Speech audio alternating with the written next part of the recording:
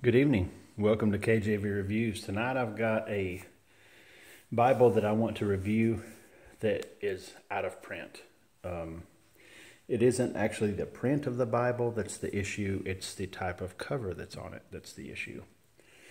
This is a local church designer series, mid size, wide margin Scofield. This Bible is absolutely awesome. Now it's not a red letter edition because they weren't they didn't have the red letter editions of the Scofield at this time. Like Church Bible Publishers now does, which I absolutely love. But this Bible is one of the softest Bibles I have ever held.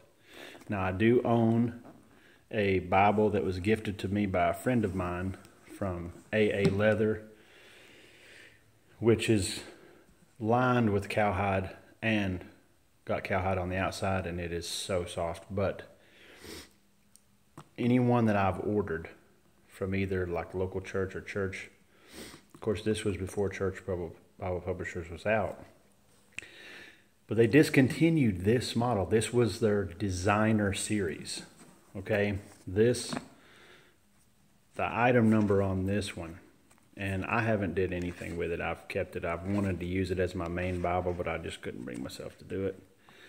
I don't know if you have that problem. If you have several Bibles like me, I'm weird, I guess. But here's the item number 300 D3B, manufacture date 614. So there's the three piece designer black. Of course, the 300 would be for the Scofield. But see, it has the pages in here and it has the translators to the reader. It has the presentation page, marriages, deaths, husband's family tree, wife's family tree. And then it goes on in here to the title page, and then there are the, the translators to the reader. Does not have the epistle dedicatory. That's all right. Like I said, it's not a black letter. Very crisp and clean and a pretty decent margin over here for there's nothing in the gutter. A little bit down here a little up here but there's there's there's quite a bit of space over here. I don't know what that is but anyhow. This Bible is so went right off the bat. I mean it's got some you know standard ribbon markers but what makes this Bible so awesome is the cover. Look at this. This is so awesome. I mean, I wish they would have never stopped making these. I am so glad that I got one before they got rid of them. I'm telling you, until unless you could feel this thing, you can't understand how soft this is. It just feels so nice. And it does have the raised hubs. I mean, you can see there's they're, they're very shallow, not very prominent, but they're there. Stamping, good. Authorized King James, of course. But this is the three piece that has the stitching. I mean, look at that. That grain is amazing. Why would they discontinue this one? I don't know. It had to have been something with their supplier.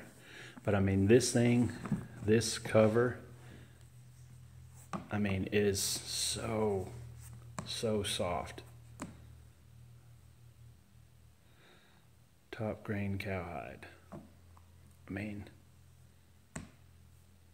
what are you going to say about that? It's amazing. And it just feels so so super soft. It just I mean look how it lays. You can tell how limp the cover is. It's just so soft. And it feels so good in your hand. I love it. Sorry. Got some notes over there. But I don't take this Bible out of the house. Let me tell you uh, I've got an issue.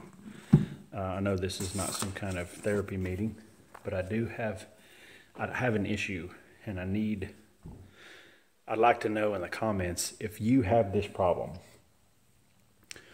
I was talking with a good friend of mine who also collects Bibles um, about this before.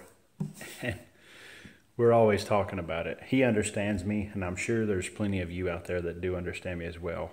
I write in my Bible. I do. I'll bring out my other Scofield Bible that I bought for myself back in 19, I believe it was in 96, uh, when I was in Hawaii in the Air Force. But I still use that Bible, but it's falling apart, right? So I said, I need to get me a really good Bible that'll last me the rest of my life. And then local church came on the scene. And then this came on the scene, and I was like, okay, it's a Scofield. The only thing that's missing is it's not a red letter. Now, some people don't, that don't matter to them. I mean, I don't really care if it is or not to own it, but to do to use it every day, I like it to be a red letter edition. That's just me. Everybody has their preference. If this was a red letter, it would be awesome. But it ain't. But still, regardless of that, when I got this and pulled it out of the packaging and felt of this cover and held this thing and I was holding it like this and looking at it and I was like, wow, this is going to be my new everyday Bible. Perfect size. I mean, you know, like I said, this mid size is good for me to carry. I mean, just opened up flat right out of the box. Beautiful. Room to take notes. But you saw the manufacture date of this. What year is it now? 2018. It's been sitting in on my bookshelf. I've tried to pick it up four or five different times and say, look, I'm going to start transferring stuff from my old Bible into this Bible to make this my new Bible. And then they discontinued them, and I'm like, I just can't do it. I, I mean, I will get to the point where I open the Bible and have my pen, and I'll be ready to take some notes, and then I'm like, okay, I'm going to do it no, I can't do it. I can't do it. And I close it and I put it back up on the shelf. What's wrong with me? I don't know. But the thing is, it's sad. It's it's pathetic, really. But um, it's just this issue that I have that it's it's such a nice Bible. And you know, I don't believe in wasting a Bible. If someone really needed a Bible, I would give this to them without a shadow of a doubt. I bought one of these for a pastor buddy of mine before they went out of print. He still uses it. He preaches out of it. He's not like me.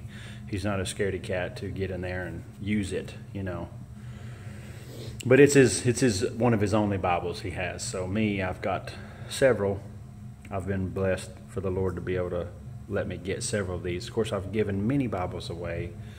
Bought Bibles. The Lord put it on my heart uh, when these Bibles came out to buy Bibles for some people, and, and God provided for me a way to do that, and I was very, very thankful for that. But I just can't bring myself to write in it. Uh, I don't know. I don't know what's wrong with me, but enough about my sad issues um, with marking and Bibles. This Bible, I wish that they would bring back this type of cover I wish church Bible publishers, if you're watching, please find a way to bring this back. If I could get this Bible in a large print, wide margin Scofield red letter, that would be the greatest thing ever. So I just want to let you know that if you had a chance to get one of these, I hope you did. I hope you didn't miss your opportunity. I wish I had a bunch of them to give to everybody, but I only got this one. But I hope you enjoyed this review and get in there and read your Bible and write in it if you have to. God bless you.